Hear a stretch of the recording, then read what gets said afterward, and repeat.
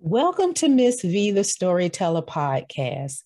This podcast is for anyone who has lost their voice and want to get it back. I lost my voice at a very young age, and it took me years of pain and hurt to get it back.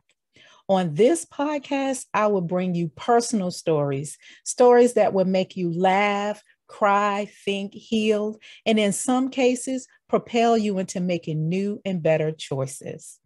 At the end of each story, I share with you my thoughts about what happened, and I also ask you probing questions to make you think.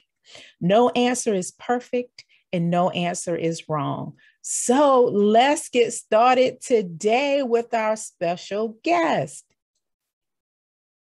I am so excited to have Lorrie Grant on my podcast today. Lorrie and I, we had a greet and meet meeting a few weeks ago. And let me tell you, her and I have so much in common. She's a storyteller like me. So, you know, I had to have her on my podcast. She is also going to be starting a podcast. So, we're going to learn so much about Lorrie today. With that said, Lorrie, tell us a little bit about yourself. Hi, how are you doing? Good, good. good. So yes, um, I actually work full time at a nonprofit. Gave up my big girl corporate job uh, to do something that I loved, which has been really, really fun for the last couple of years. Um, what I love, I'm an author, so I have three children's books that are published, and I have uh, two more in the wings right now. And um, I'm also, uh, I'm also a blogger Oh. And I'm also now a podcaster. So we have lots of things in common as far yeah. as that is concerned. Yeah, that's awesome. I love the author part of um, what you're saying about you being an author because I am too. Not children's books yet, but that is something that I want to do long term and a little bit later on. I want to write um, stories um, for children. They're so, super fun. I know. I used to teach, so I know I love the little ones, and I used to love sitting on the carpet and telling stories and making up stories with them. And yes. you know, as a storyteller, we can make up a story on the spot. you know, and it's funny because I used to do that with my kids all the time. We would be in the living room and I'd say, mm-hmm. okay, let's pick three objects in the room and make up a story. And we did that all the time, but I didn't have any idea that was weird. I thought that was normal. And you know what? That is a storyteller because I realized that with me because I've been a storyteller like my whole life. and I used to sit on the carpet and tell stories with the kids and just make them up. And they would think, oh my God. Yeah. But I know we have a lot in common. So yes. tell me, which one of my stories resonated the most with you? Or I, I know you told me you like a lot of the stories. But yes, which one are we going to? which one of them are we going to talk about today? Let's talk about gifts and talents today. Oh, oh yeah, I yeah. loved that one. That is a great one. Yes. And in this particular episode, I share with you about how God gives us all gifts and talents. And yes. I shared about a gift and a talent that He gave me working in the theater, um, doing hair and makeup. And then it progressed to Him moving me into working at the children's ministry at my church. But what I didn't know is I was getting prepared for that when I was working with the children, when I was working with the theater company, because that was working with children. So, yes. yeah, it, it was amazing how God put that gift in me, but He was also preparing me for another gift that he was going to utilize later. So, Lorrie, tell me, what was it about the story? Well, there's two different gifts that I'll tell you about that are that absolutely relate to your story. But the first one is is the obvious gift that I that I do the writing. That I never saw writing on the radar. Never saw it. Really? Um, I was a praise and worship leader. I started doing music. Came from an incredibly musical family. I started doing uh, praise and worship when I was 16. Wow. And so I was always doing music. I was writing, I was recording, I was doing commercials. I was, but it was all music all the time and and that's really how i was uh that was my gift that's what i did you know when when you do that much music in mm-hmm. a church i was doing about 20 hours a week of different areas within the Church of Music. So wow. I thought that was my gift, and I thought that's you know that's what I was going to do with it. And that's not to cut you off, but yeah. that is another thing that you and I have in common because I used to sing in the choir in church for years. Yeah, but go ahead. yes. So the writing piece, I never thought I was going to write. That was never something that uh, I thought ever thought of. So the reason I started writing was because my grandmother passed away quite young. And I remember asking grand, my grandmother questions about, tell us about mom, tell us about mom, and what she was like when she was growing up. And my grandmother only told us the same story over and over. And so I didn't learn that much about my mom growing up. Then, as I got older, my mother ended up passing away when I was only 35. Oh, now, she was yeah. a kindergarten teacher, and that woman had stories. They were hysterical wow. stories. Hysterical, but they were all gone too. Mm. And so I decided that being a person that a lot of funny things happen to, I'm that's why I'm a storyteller because a lot of stuff happens to me. Yes. um, I decided that I would start capturing my stories of the things that were happening to me and the lessons that I learned from them. So, because I wanted to capture them for my kids, that's the only reason I did not start writing these stories for anyone else but my kids. Oh, that's so, so that's sweet. That is so nice. And that's the best way to do it when you're doing something for your heart, for your kids, or for someone yeah. you love. Yeah. Yeah. And so I started writing these stories and I was teaching a women's class. It was called When Women Walk Alone, and it was a women's singles okay. class. And it just so happened that one of the stories that I was writing, or I had written actually, um, absolutely completely paralleled and applied to this particular lesson we were doing that week. So I brought this lesson with me. I brought this story with me to the lesson and I read it to the ladies. They loved it and they said, We want you to bring a story every week. Oh, wow. like, That's exciting. Wait a minute. Wait, I don't write for anyone but my kids. And actually, my kids could care less. They weren't, they weren't reading them yet. So that kept me writing. And so now I was writing for my kids. And then now I was writing for these women.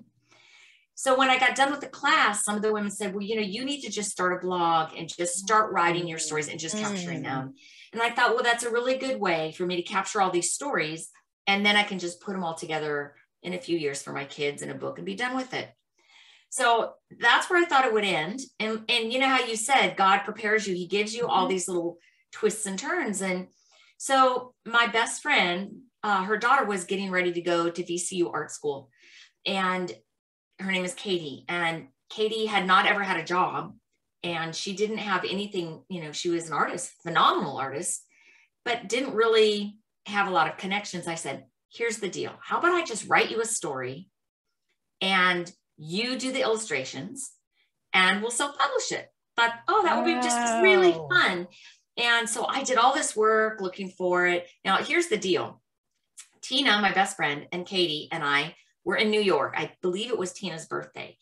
And Katie had her drawing pad. She wouldn't show her mom, but she would show me. So when Katie was in the shower, Tina ran and got her sketch pad, and we're looking at all these amazing, beautiful artwork. But you know, kids and their moms, yeah. you know how that works. And so the shower goes off, and, and Tina goes, Oh no, and she runs and she puts the book back. So Katie comes out and she's dressed, she's pretty much ready to go. And I and I said, Hey Katie, you know, I've never really seen your artwork. Will you show me some of it? and Tina is standing behind Katie and she's giving me the don't do it, don't do it, don't do it, don't do it. and I'm just kind of acting like an ant, you know? And, I, and so, of course, Katie says, sure.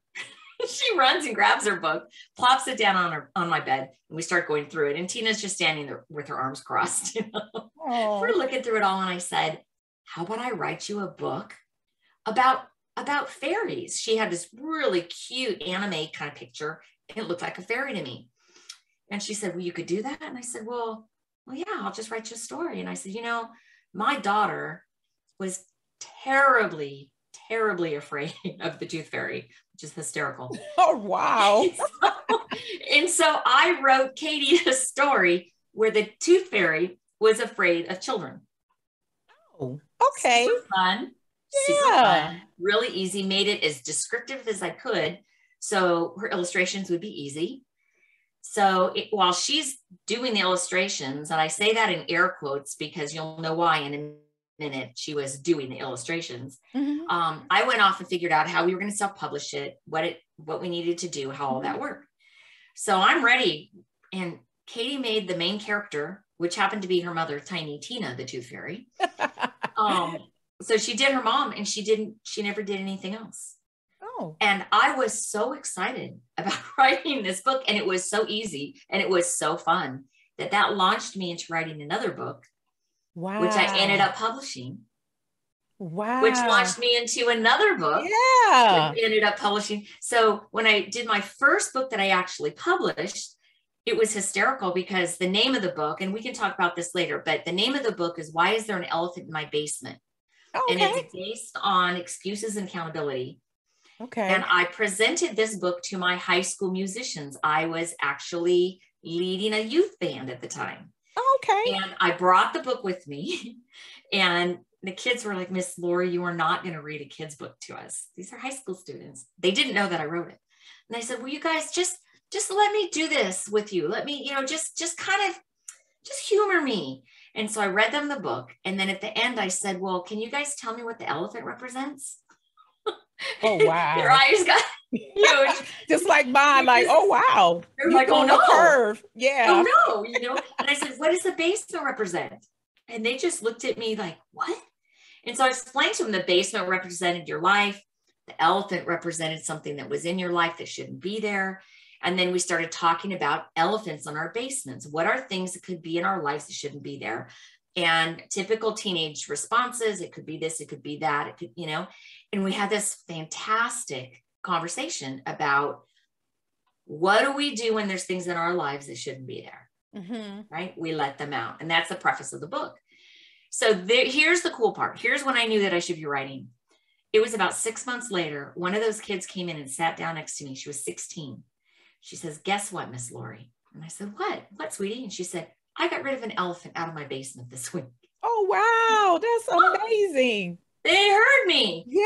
So that's where the writing came from. I never, never, never saw it coming. But you and know, so, it's so funny that you said that again, not to cut you off, but that is so funny you said that because that's how you know it's a gift and a talent from God because it's not something that you knew you could do, you thought you could do. It's like God orchestrates the whole thing for you puts yes. people in your past and just helps you to make those steps and that's it sounds like yes. that's exactly what he did for you yes and i needed that affirmation i you know i was writing mm-hmm. but why was i writing? I was writing because i was just capturing stories for my kids. No i wasn't. I was learning the craft of writing but i didn't know that. Yes. You know and so then i did the book and why did i write? Oh i was just writing a book to help this you know girl get into art school. Mm, no i was actually learning the craft of writing. Yeah. And so so that's what really tickled me about your story was you don't always know when God is preparing you to use a gift that you probably didn't even know. Sometimes you don't even know.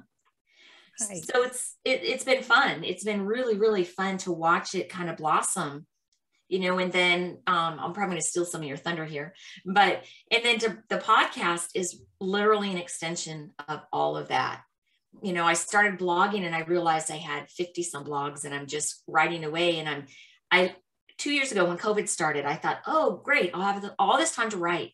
Mm-hmm. I quit writing because I was kind of like, you know what, God, you're not, why am I writing? Why am I right? Yes. No one's listening. Yes. No one's reading my blog. Why are you doing this? And and I really felt him say, keep writing, keep writing. And I was kind of mad. I was just like, mm-hmm. I'm spending all this time. And then suddenly the opportunity came up to start a podcast and God wants me to use all the stories that I've been writing. And that's again, that's okay. why you and I have in common because right. I had all these stories written before I even knew about a podcast or anything. Yes. And I, oh my God, this is amazing because my I mm. start writing stories and I just kept writing and writing, writing, and then I wrote a book in between, and then I wrote, I started writing another book, not knowing where God was going to take it, yes. and then I just put those stories stories on a podcast. And then a month ago or six weeks ago, he was like, now I want you to do the next step with the podcast, the podcast, and have guests come on the show. Right. And I, right. I just appreciate God for us recognizing that they they are gifts and talents from God and he wants us to use those to serve people. Yes. And that's exactly what you're doing. You serve through singing. I did. and then we start writing. It is oh my God, this is so good. So what do you think about people in their gifts and talents? Do you believe that all people have gifts and talents or is it just, you know, God picks us? What do you believe about that? Well, I think the Bible is really clear that we all have gifts and talents. Yes. So I do believe we all have them. Um, and if you talk to somebody that says, "Oh, I don't have any," mm, that's probably not true. I mean, that's not biblical. So um, I think the spiritual gifts tests are always really good. Mm-hmm. But I think sometimes people have a gift or a talent that they don't necessarily. They want something else. Right. They, now, they want I, a different one than God has given them. Yes. And again, I actually have written blogs on that exact on that exact uh, subject. But I do think people sometimes. Um, I'll give you an example. There was a, a a man that I knew in music. A lot of my stuff will go back to music because I did it for so long. And this guy was the best pianist I have ever met. Honestly, but and I've been around some amazing musicians. This guy could play any piece of music, any key at any time set in front of him. Didn't matter what time signature it was, didn't matter what key it was in. He he could read any piece of music, he could play it. But here's what was special about this guy. He could also play by ear. No. He could play anything he heard. Yeah. Now that's a gift. Yes. Incredible gift. yes. gift. But you know what? He wanted to sing. He wanted to be front oh, center and yeah. sing. He did not want to sit behind a piano. And I remember that I was pretty young. I was um, I was probably 23, 24 when I met him. And my heart ached for him because he was one of the most talented, gifted people. And he didn't want to use the gift that God gave him. Wow. He wanted See, a different gift. You know, and this is so funny. Uh, and I'm glad you shared that part of the story because it, it brings to mind that um, someone said to me a long time ago, and I've heard this numerous times, that God gives us all gifts and talents. And if we don't use them, we will lose them and He will give them to someone else. And right. I think sometimes that because we want it so something so different, so so badly, God is like, no, this is where I'm going to bless you.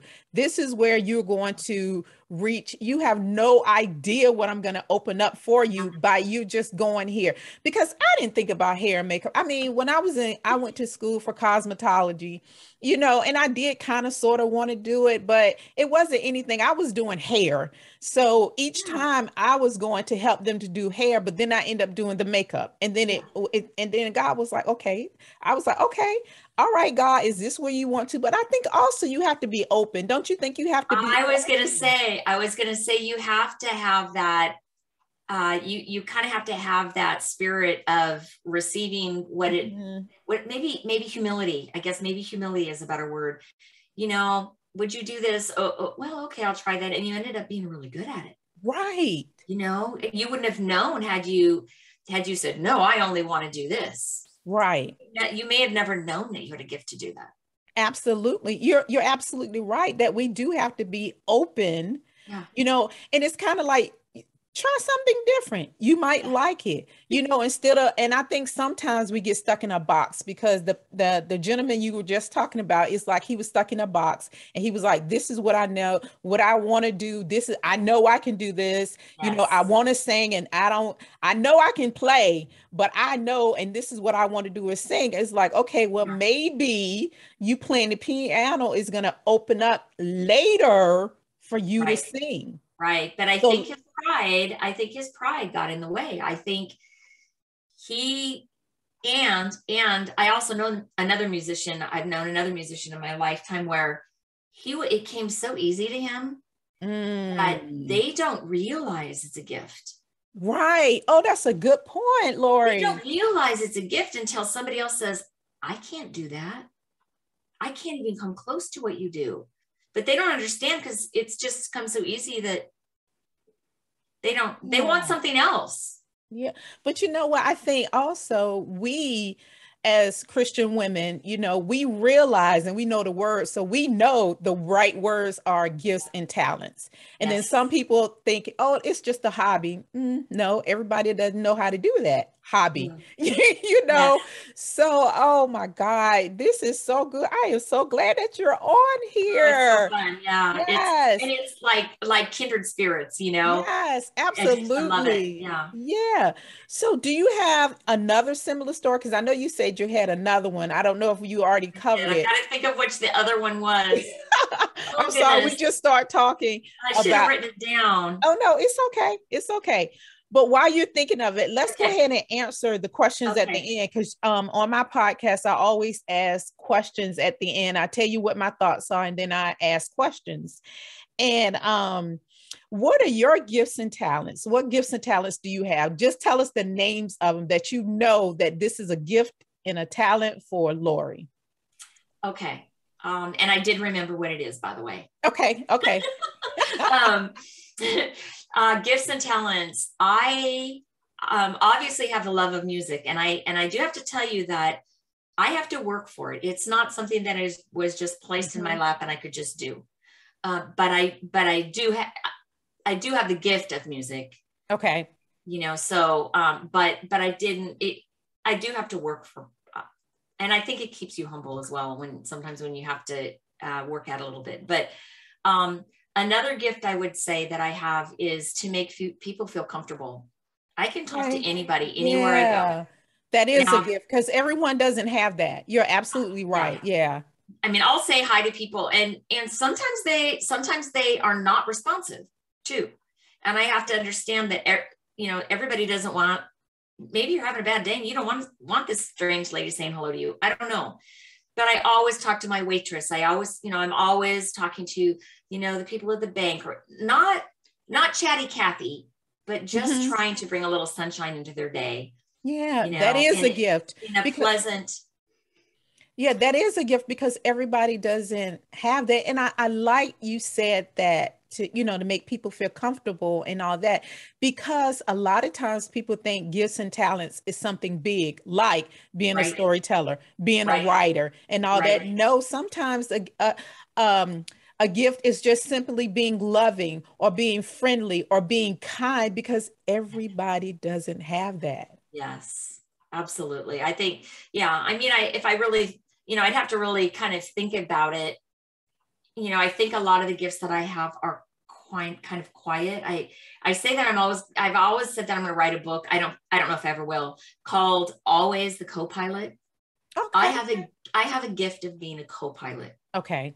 I am really good in that co-pilot chair, anticipating what you need, when you need it, how you need it. How do I how do I make you look better? So I'm going to relate that back to music. I praise and worship leader for years and years and years. My favorite thing to do is to be a backup vocalist. Listen, my favorite is to make that praise and worship leader sound good. Yes. I'm telling you, we are kindred spirits because I'm a background person. I love to make someone else shine. Yes. You know, or push them to help them yes. to reach their highest potential. Yes. And I also think that is also a gift. I think so. So anybody that's listening out there, listen to Lorrie and Miss V the Storyteller.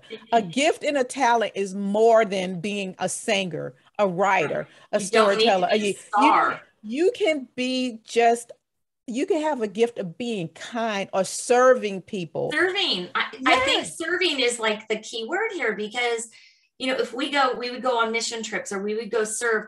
My job is usually to support the people that are out in the field mm-hmm. serving. Yes. My job is to wrangle up the high school students and make sure that, you know, they're eating and they're sleeping and they're meeting curfew. You know, my job is to make sandwiches for the kids so they'll eat while they're, my job is usually behind the scenes. Yeah. But you know, oh my God, God just dropped this on me because, um, someone has shared with me about um it's called the chosen i don't know if you ever see, okay and yes. this the scene just came in my just came in my head about the disciples they all had different gifts and talents but right. they were also serving jesus which was also another gift Yes. You know, because he they were able to serve him and meet the needs that he needed to be able to go on and do what he needed to do. So again, that's like you said, serving and serving with your gifts and talents, you know, because some people can just be selfish. I'm a writer, I'm just gonna write for me, I'm not gonna get it out in the world. Well, you're not serving your gift. You're just being selfish and hold it. And it's like, no, God didn't give it to you for you to hold it. He gave it to you yeah. for you to push it out into the world and to serve. Absolutely. I agree with you 100%. Cool. Well, Lorrie, thank you so ah, much. This yes. has been such wonderful fun. It's so wonderful. listen, I know that you have books. I do. Several books. So please tell my audience about your books where they can find them, okay. and if you have anything else going on. Okay. Okay. So, oh, and I was, and you had asked me about the gift. Oh, the other. I, the other gift. Right. Yeah, yeah, yeah, yeah. Okay, so let me tell you that story really quick. I'm a storyteller, okay. so of course I'm going to tell I know, you. you. Just like me. Yes, go ahead. so I was doing praise and worship. I was, I was, it was a very large church. We had two uh, contemporary music bands. We had two adult bands. We had two high school bands and then we had one middle school band. And I was asked to lead one of the high school bands. Okay. So I was terrified. I was terrified. I I I didn't I wasn't a teacher. That wasn't that right. wasn't something that I was comfortable, especially with crazy high school students.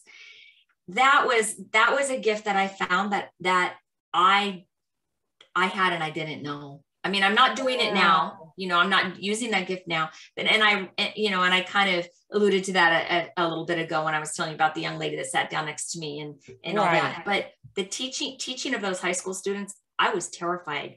I was terrified, and because high school students are smart. they are. you know? They're different too. And and honestly, honestly, that ended up being one of the one of the most special i don't know if that's pro- proper english uh, experiences of my life was wow. was mentoring and hanging with these high school students so again you got a gift you don't really know god puts you in a place and he asks you to use the gift that you didn't really know that you had mm-hmm. and it ended up being it, it will always forever be one of the most most meaningful experiences of my life wow so that's yeah. that's another note on gifts so anyway, I just thought I would, I want to make sure you knew that. Oh, no, that's good. No, no, I wanted you to share because I remember you said it earlier yeah. and and we start talking and, and you know us both being storytellers so we can go on and on and on we so can. yeah so tell us about your books because okay. i'm so excited about that okay so i have three books the first one i told you a little bit about it's called why mm-hmm. is there an elephant in my basement yes. i told you a little bit about that one now it's about excuses and accountability and and the reason that so you go all the way through the book why is there an elephant in my basement it's all all these excuses and at the end it gives you the answer to why there's an elephant in your basement oh wow That's answer special. the answer to why is there an elephant in your basement is because you let her in oh so you so let her special. out yeah that's, that's the first special. one the okay. second one is the second one is called little white flies taken from the expression, it's just a little white lie. Lie. Oh, got you. So, yeah. So this, so this book is about honesty. Okay. Um, it's about six piglets that are running amok, and one of them has a little bit of an honesty problem. Okay. And how he kind of finds his way and how he fixes it and kind okay. of figures it out. The third book is called I Am Beautiful Too. Oh, and this I one, honestly, it. right now, this is my favorite book. Oh, um, I love it, the title. I love it. You would love it. It's a super, super cute little book. It's about a white peacock. And a lot of people think that white pe- white peacocks are albino peacocks. They are not. They okay. are white peacocks. And they are stunningly beautiful. Just when they open, it's like this lace and they're just beautiful. But it's a little about a little white peacock. His name is Albie. Okay. And his name is Albie because he is not an albino. Yeah, that's okay. My, oh, that's, that's my quirkiness coming out. that's cute. And um, he does not think he's beautiful because he has no color. And so he goes through the zoo and he starts collecting color from all the other animals. He thinks everyone is beautiful but himself. Okay. And so he gets to a point where he's kind of a hot mess. He just, he's all these colors Aww. from everyone else and he's kind of lost himself. And so he goes to the white snow owl and he says, you know i i wanted to be beautiful and i'm just i don't look anything like myself anymore. And that really relates to what we do as people. You know we think um, you know and and talents and gifts and talents mm-hmm. relates to that as well. Oh he has that and he has that. And and and pretty soon you lose yourself in right. all the things that you want to be besides who you are.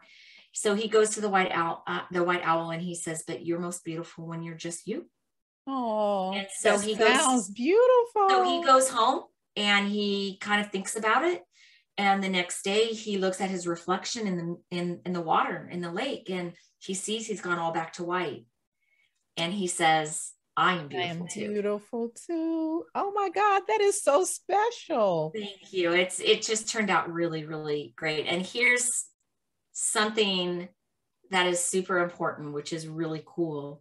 The person that illustrated that book is Katie. oh my God, that's amazing. Oh, no. that is see, she is using her gift and talent. Oh my God. Yeah, so I have to get that book. Yeah. So that's really fun. So my next book, I I've got two of them rolling. I'm not sure if I'm gonna which one I'm gonna do for uh 2022. One will be 2022 and one will be 2023. I'm gonna okay. release the book every year. Um so the two that are going, um, so it's gonna be a surprise, whichever one comes in first. Okay. Um, is either Dragon Breath and okay. it's about hurtful words. Okay. I okay. Usually, I usually pick a topic that's kind of relevant as to what's mm-hmm. going on in the world. So Dragon Breath is super relevant for the last couple years and people's words and hurtfulness and you know how do how how do we fix that? We treat meanness with kindness. That's what right. this book is about. Yeah. And the other one um, is called um, Arnie's Light, and okay. it's about it's about a firefly Okay. Whose light is a little dim in mm-hmm. comparison to everyone else's. Everyone else's. Yeah. And so he finds a friend and they become friends. And she teaches him that the light of two butter, two fireflies can get them out of the tunnels. So oh. you so it's about it's about companionship and friendship and and how you can shine your light on someone else and completely make a difference. Oh my God, that sounds beautiful. So please tell us where yes. we can get those books so we can, oh. you know, come on, tell us where to get them. Sure, sure. Uh, so you can check my author's page. Okay. It's uh, www.lorriedgrant, and that's L O R R I E D G R A N T dot com. My blogs are there and my books are there. My books are also on Amazon. Okay. And if you want them signed, yes, yes, I would I love agree. for you to let me know. Um, I would love people to check out my blogs and communicate with me. And you know, if anybody's interested in having speaking or any any kind of communication, I would love, love, love, love that. And um, I also my podcast is called Storytellers with a Message. Right. And yeah. that is out. It's on Apple, and um, you can find and, and, you can also email me at storytellers with a message uh, at gmail.com perfect. And i'll make sure that in the description that i have the names of the book and everything because you sent it to me. So i'll make sure if every, if they didn't catch it by ear that it's already there so they can just pick it up but Lorrie, thank you so thank much you. for agreeing to be on the show. You have been amazing. And I, yes, it was. And of course, listen, you guys, Lorrie and I will most likely keep in touch because we have so much in common. So again, thank you, Lorrie, for being here. Thank you. Take care.